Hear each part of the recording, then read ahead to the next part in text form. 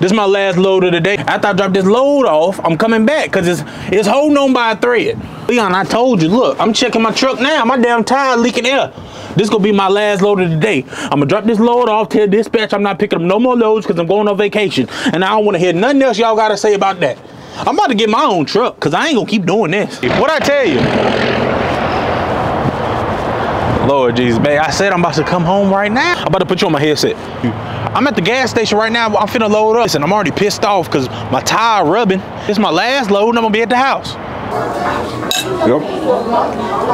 Yep. Okay, just some static. Just some static. I'm about to get in the shower, so pick a movie. All right, be, be thinking about what you want to watch, because I ain't finna sit up with you all night. Hey, babe, I hope you picked the movie, because I'm finna be out. If you ain't got that movie picked, then you SOL. You shut your mouth. Stop. Now, why would you hit me with that for? You about to knock my damn headpiece off. But we can watch anything. It doesn't matter. You gonna follow. We just picking something for you to fall asleep in two seconds anyway. So it is what it is. I was just about to turn the whole TV off. Turn off You for over there sleep.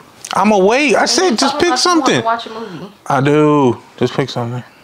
You take that damn headset. Hey, look, look, you doing too damn much. Don't to touch the head. yet. Don't touch that.